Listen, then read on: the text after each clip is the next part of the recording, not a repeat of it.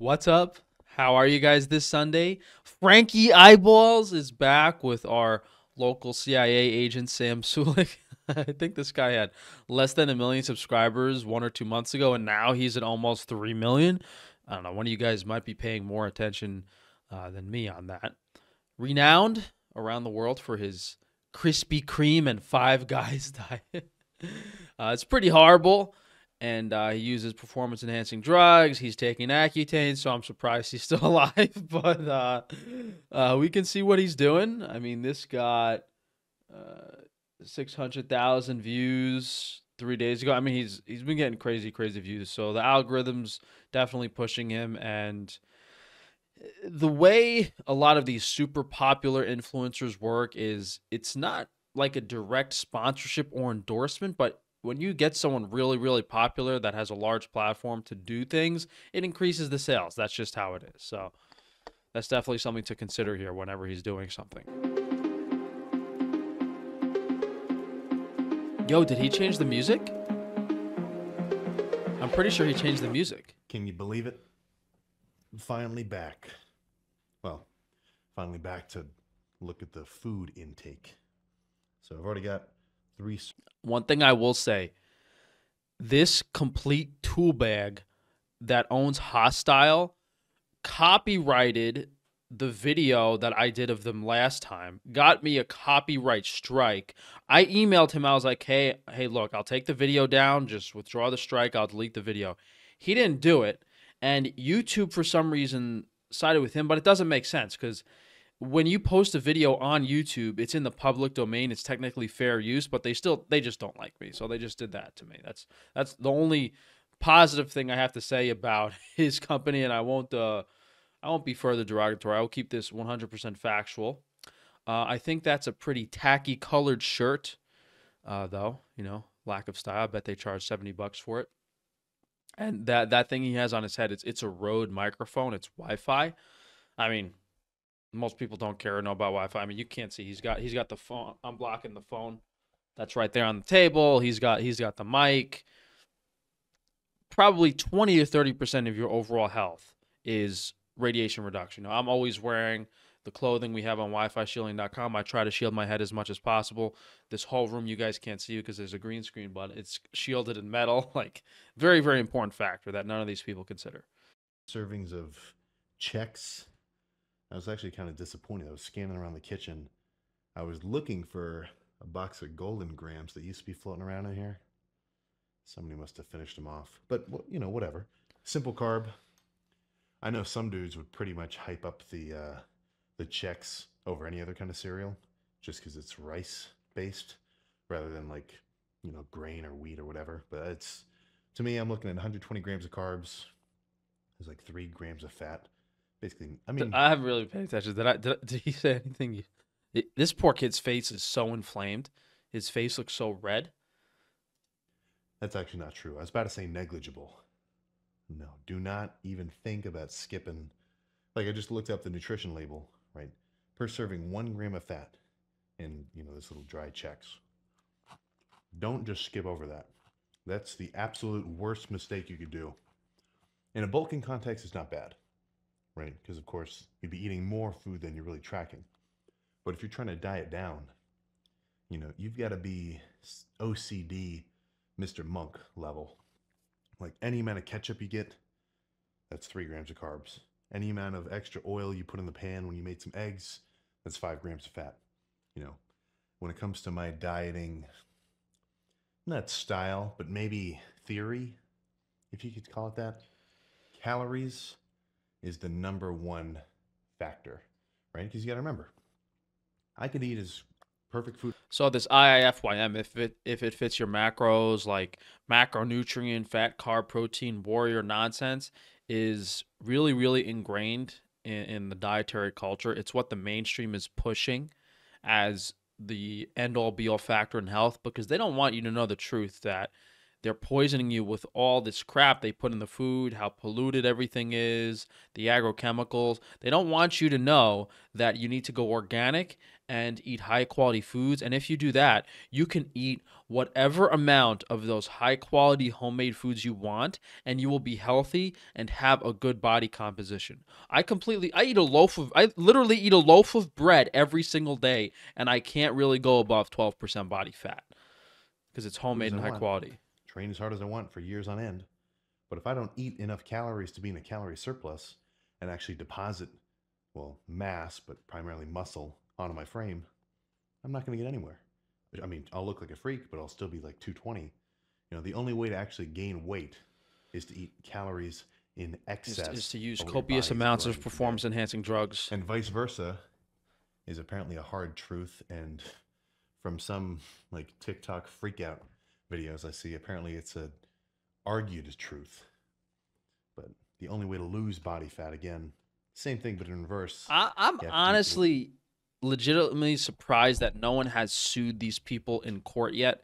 Like, because I think it's a pretty cut and dry lawsuit. Like, hey, you're using performance enhancing drugs. You're not putting a disclaimer at the beginning of your videos, and you're t- giving people advice on diet and nutrition and stuff that is completely like, it, it, just doesn't make any sense. You, you can disregard everything this guy says based on the fact that he's using like unnatural steroids to get to where his body is. less calories than your body burns per day, aka a calorie. What's the word the kids are using now? But Stop from that- yapping. I'm really trying to get in Yapping. tons of carbs. You know, my 250 grams of protein. Grade A yapper. I kind of stay around a gram per pound. How many grams Right, of so test? Right now I'm at 250. How many grams of tren? 250 grams.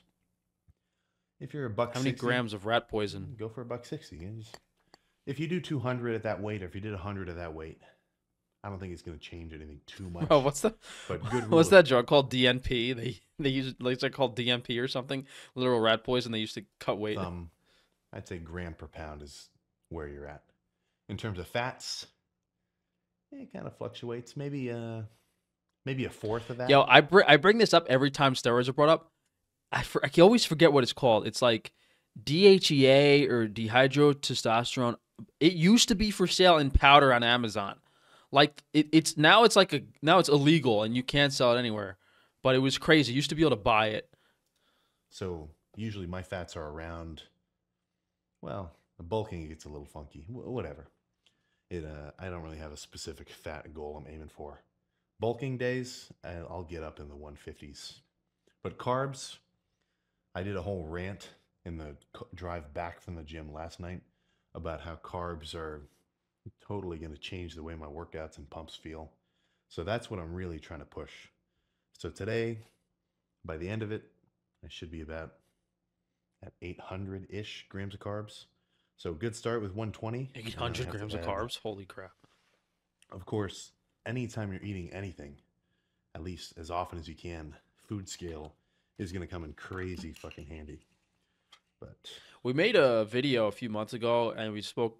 We speak a lot about the importance of vitamin B1 in carbohydrate metabolism. So I'm sure a lot of these people and most people in America in general could really benefit from a super high dose B1 supplement because that's the primary vitamin used to process carbohydrates.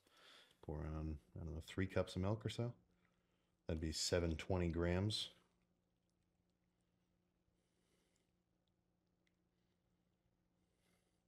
You have these big commodity companies producing this milk, super low quality, super cheap, super bad for you. When yeah, if you go to we to, we have all the raw milk and dairy products on Frankie's Free Range Meat, but you might be spending more money relatively to the amount of product you're buying, but you're going to drink a lot less and need a lot less of it because it's such high quality. Perfect. So three servings. So that puts me about 170 grams of carbs, 25 grams of protein, and about 25 grams of fat for this whole bowl. So that's however many calories. I, I don't. I'll do the math in the end. I'll add like a counter, like um, Super I- it was kind of confusing a little bit last time. So each meal, I'll just write out the macros, and then at the end of the day, I'll write out the total. So How many gra- how many here for- grams of sauna sweat I don't know, five minutes, do we need to drink? however long do you it have takes to lick? get this down, and then go do cardio. So this is the pre-cardio meal. Fasted, it's not going to make a fucking difference. And if you're bulking, Are you I gonna a are big you gonna replenish your sodium macronutrient by licking the sweat as you work out? Breakfast or at least a moderately sized breakfast is going to make it a bit easier. Because you got to remember if you do no breakfast and like let's say you're going to school so you don't eat anything until This lunch. guy's number one yapper. that means you've only got from lunch till whenever you go to sleep. That's your window to eat. Whereas the dude who had a big ass breakfast his window is going to be the complete day. So let's uh, let's just jump to whatever i eat next. The post cardio meal. All right so apart from any you know maybe tweets tweets. Apart from any treats or anything that i might have before i go train this will pretty much be the pre-workout meal. This is one i've kind of been loving. So obviously I actually go out of my way cook steak. Usually i'm kind of lazy. I like getting a lot of pre-made food. Like a costco huge 15 pound turkey breast and just cut chunks off. But the steaks i've been loving. So about a pound of steak 100, 100 grams of protein i'd usually just do one of these like eight ounces but since breakfast was kind of lower on protein i'll just double up Yeah, bro. Only three three cups of milk, low on protein. This looks actually reasonable. I'm surprised people can even do the prepped food stuff because when when you cook something fresh, like it's so much tastier. Like I can't even really eat like leftovers. I just don't like unless I was like really hungry and starving. And even then, if I had a plate of leftovers, I'd only eat like half of it because it just doesn't taste good. and then a pre-made kind of um i forget the brand but it's like a five serving thing of mashed potatoes. So all this adds up i, I already tracked it on my phone i'm gonna have to pull it back up. But 100 grams of protein 20-ish grams of fat maybe a little more with all the avocado oil i cooked it in. And then this is going to be about 90 grams of carbs maybe 14 grams of fat if i remember right I mean, avocado oil, you know, it's always questionable quality. It's not reliable, and it's it's not a saturated fat. It's not the healthiest oil to cook with. At least he's got some beef in there. But uh, buying like pre-made mashed potatoes, who knows what's in there? I highly doubt they only use potatoes and butter. If they do, it's actually not bad. But it's also possible they put like vegetable seed oils and chemical flavorings and preservatives in it. So why don't you just make it yourself and eat? eat I mean, this is way above and beyond anything this guy would ever do. Is, is you know what type of water were the potatoes cooked in? I mean, I don't think anyone else on YouTube has has cooked potatoes in bottled mineral water like I have. but you know that's about right so i've never really been a huge proponent of really hitting meals per se that's one factor which um, i kind of differentiate in terms of my uh, let's just call it rich piana similarities because calories are calories dude you can't eat something and have it not count that's one thing that i think people really kind of have to understand like if you're dieting and you're like okay i'm going to have this as a treat or even worse, let's say you're not really doing a strict diet, you're just kind of a layman kind of character. And oh, not you get what I'm saying. You're not crazy invested. And you're like, yeah, I'll have the I'll have a salad for lunch. Yeah, I'll, I'll just have a couple eggs for breakfast. Right? In your mind, you're like, I did good today. And then it's eight o'clock. Eat a bunch of pizza that was in the fridge left over, a couple scoops of ice cream. That just one hour of snacking before you go to bed will completely offset all the quote unquote good that you did that day. So that's kind of why I sort of took a bit of an anal kind of stance about tracking every kind of calorie. So in a way, this is almost, if you wanted to call it that, you could say meal three. But after cardio, I stopped in the vending machine at the oh my god, I can't. Uh, my brain is too fried today to deal with this, guys. If you're like binging and eating crap food at night, it's because you're not getting what you need in your diet. If you can stick to, you know, higher quality foods and eat what you should be for two or three weeks and get the right vitamin and mineral supplements, you're not going to have those cravings. I thought he was going to explain something that I'd actually agree with, which is, you know, six to nine meals a day that some crazy bodybuilders do. They used to do that because they were so hungry and they were cutting and restricting their calories. So for them, it, it was better to break up, you know, the beef and rice into two or three meals instead of one large meal because, you know, they're digesting and metabolizing so fast. They'd rather be hungry for shorter periods of time on smaller meals than hungry for a longer period of time on a larger meal. That's mo- more relevant to restricting calories because when you're trying to gain weight and you're eating a lot of food, you know, you can't really even eat six, seven, eight meals if you're eating as much as possible at any of those meals.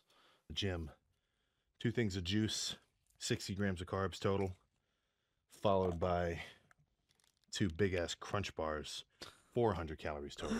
So that puts me Bro, like I can't. whatever I'm at now. But I'm sure once I finish this, plus a bunch of water with electrolytes and a couple of amino acids, I'm going to want to take a pretty substantial nap.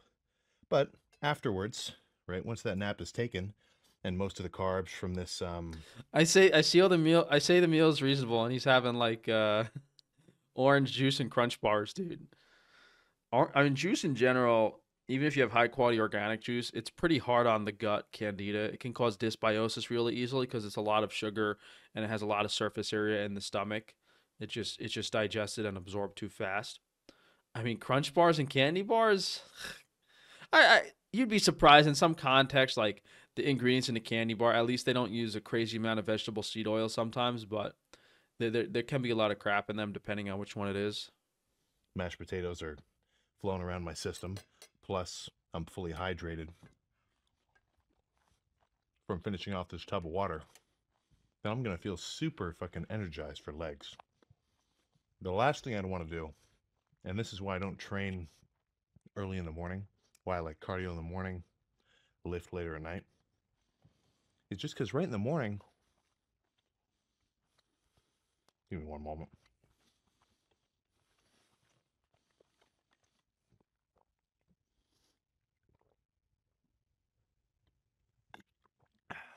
right in the morning, that's when you're in your, well, you're literally in a fasted. I mean, th- don't people this like don't they inject insulin after every meal? You know, isn't isn't that something important that that you can include in the lawsuit when you sue him for for getting fat and having a heart attack on his diet? That he forgot to mention you need to take insulin every meal when you're eating this. state from going the whole night without eating. So, if that's when you have to train, I guess you just have to deal with it. But I'm going to feel much better, stronger, more endurance, just going to have a better pump and a better workout. If I wait for the whole day of, you know, a substantial amount of calories and meals and carbs and Does Water. Hosstile sell performance enhancing? What do they sell? What do they do? They is it just supplements? electrolytes, because right in the morning, I'm not very hydrated. If anything, I'm dehydrated. You know, you lose a couple of pounds every night. I guess it depends on how big you are, but just by breathing, you're breathing out water. You're going to wake up literally more dehydrated than you were at night. So for me, it just makes sense. Tons of food during the day, fuel up, super hydrated. And then when I actually get into my lift, that's when I'm like, okay, gas tanks at, at F, gas tanks at full. I'm ready to try to empty that thing as hard as I can, aka, you know, push every set as hard as I can. So that's kind of the plan for tonight. So if this is the last actual meal, then we'll get straight to the car talk. But leg, Yeah, that's a little subjective, but it, it depends on your overall lifestyle. Like if you work a manual labor job, yeah, if you go to the gym at night after doing manual labor all day, like your workout's gonna suck. That's just how it is. Or if someone like sleeps really well compared to someone who doesn't sleep really well, regardless, that that person with overall better lifestyle factors is going to be stronger at any point in the day. is going to be pretty sick. Or even I'm going to a gym that has a really nice. someone who injects testosterone. It doesn't matter. It's like cable loaded, but we'll just talk about that when we're, then we're there. If I talk, if I talked about the workout every meal, this would be like a two hour video, but this will just fucking disappear in the next 20 ish minutes. I'm sure I'll probably take a nap right here and just sit down on my phone. And when I wake up, I'll be ready to take the pre and get out of here. Now that Imagine nap imagine being so like insulin damage that you fall asleep with a, a Rode microphone frying your brain. Uh, so now I think like the next like 45 minutes of this is workout. So we're gonna skip all of this workout stuff. So I forgot to add intra workout was 100 grams of carbs in the Hosstile bottle. Yeah, I forgot about that. I was doing the uh, I was doing the blue Gatorade. You know, if you're curious why the um, the cluster dextrin shake isn't Doesn't this guy look a little like Jacob Elordi? And, and forgive me for being mean, but like the ladies are obsessing over him. Maybe there's a little too much estrogen in the water when they see tall dudes, but like like I could have the most I could have the most botched eye surgery ever and I would still look better than that guy. Anyway. Back yet, the post workout instant 50 to 100 grams of carbs plus 20 ish grams of protein. I'm kind of saving it for later. That's um I don't want to call it like a last resort, but I think he said he had a dextrose shake. Uh, and I will mention we have Flextrose on OrganSupplements.com. High quality organic dextrose, only natural one on the market. Usually, it's made with like low quality, chemically infused corn, chemical infused corn, agrochemical herbicide and pesticide and fungicide infused corn. Way it kind of is. I mean, it's a super easy, like pretty much 500 calories, you know, just like that. So I might save that for later. Like once 5,000 or so calories gets a little bit more difficult, or let's say not difficult, but it becomes my new baseline, then adding that big shake post workout, that'll definitely put me over the edge. Did he say into, what he's eating? You know, maintaining growth. So I kind of jumped the gun a little bit while the water was boiling for the ramen. I was already picking at the flank steak that my dad made earlier. So basic premise: 12 ounces of flank steak, two packs of chicken ramen, so 100-ish grams of carbs right here, 14 of fat, 75 grams of protein, and about, I think I said 10. I might actually go back and then change it. It's probably more like at least 17 grams of fat. Hey, at least he's eating a lot more beef. Did he get a check from the Cattlemen's Association? Put steak in every meal. Maybe he'll uh, maybe next video he'll be chopping steak up into pieces and pu- pouring milk over it and having that for breakfast instead of the Chex Mix. It's kind of like so close yet so far, right? Because I have beef with udon noodles every night, but the difference between like the super high quality organic udon noodles I have versus this chicken ramen uh, catastrophe is uh, is a lot. You know, you have low quality wheat, you have a lot of chemicals, preservatives. It's made with you know fluoridated tap water, all the agrochemicals and all the ingredients that go in there. It's just the sodium, MSG. so I'll, I'll add that up and put it wherever. not a lot of crazy treats today, though. When it comes to the actual, Not a lot kinds of crazy foods that I'm treats, bro. You had two crunch bars bigger than your head. Uh, for the most part, I do look at it as calories in, calories out, right? How many carbs are in it, how many fats are in it, how much protein is in it. But protein is a little different. I do definitely put a lot of emphasis on making sure that the 250 grams of protein that I'm getting in per day is from a high quality source. You know, you can look this up. It's uh, I don't, I forget the exact term, but it's like the protein grading scale. So it's basically zero to 100, right? 100 obviously being the best, zero being the worst. I mean, he's eating red meat, but I don't know if uh, I don't know if conventional milk counts as a high quality protein source. I mean, it's conventional meat too. And historically, I've kind of had a habit of not really tracking protein from, you know, breads, really just any kind of non protein source. Like it said, there's like eight grams of protein in this ramen.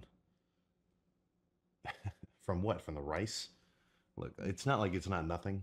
And in a dieting context, you do need to take that into account since the proteins are going to count as calories. It is going to count as energy towards your total consumption for the day. But in a bulking context, I want to make sure that every gram of the 250 I'm getting is from, you know, pretty much up in that 90 range. And that's where you're going to see Another big problem with these conventional foods is when the omega 6 content is really high, it throws off your appetite. So you're eating more than your body naturally wants to. When you have the high quality organic foods, you can eat as much as you want and go with your appetite. You know, you don't have to count the amount of protein, you don't have to count the amount of carbohydrates. As you eat the meal, your body will tell you, like, okay, I don't really want another bite of steak anymore. I don't really want another bite of pasta. But when you have these you know, agrochemical infused, uh, hyper palatable omega 6 bombs, you just eat and eat and eat and you don't stop. Uh, I mean, must be like eight or nine years ago now, but I remember I was uh, maybe seven, I don't know. But back when I was carnivore, I did try eating conventional grain-fed beef for a few days, and compared to the grass-fed stuff, I was eating like twice as much. I could not stop eating it. You know, I just never satisfied my appetite, and also I'd like have to take a nap after uh, after I ate because like the atrazine and the chemicals and the estrogenic properties of the meat. So you have to. th- There's a lot of factors and, and a combination of a lot of different things that cause this food to be so bad for you. I looked at it for a while, but it's chicken, milk, steak, fish, eggs. Uh, what else am I missing? Yeah, probably other you know animal products, animal meats, right? Shit like that. And as you go lower on the scale, you're going to start to see more. A, a legitimate ranking list would be based on the quality of the product. Like you can't lump meat, fish, chicken all together when you're comparing like grass-fed beef to to white. Uh, what what's the brand?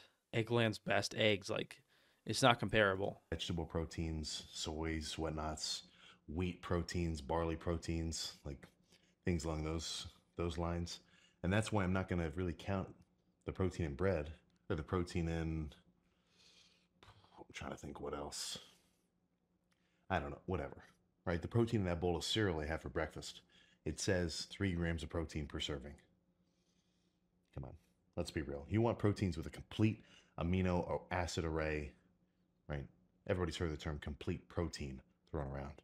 So that's, I mean, best case scenario, that's in the meats. So any vegetarians or vegans, even worse.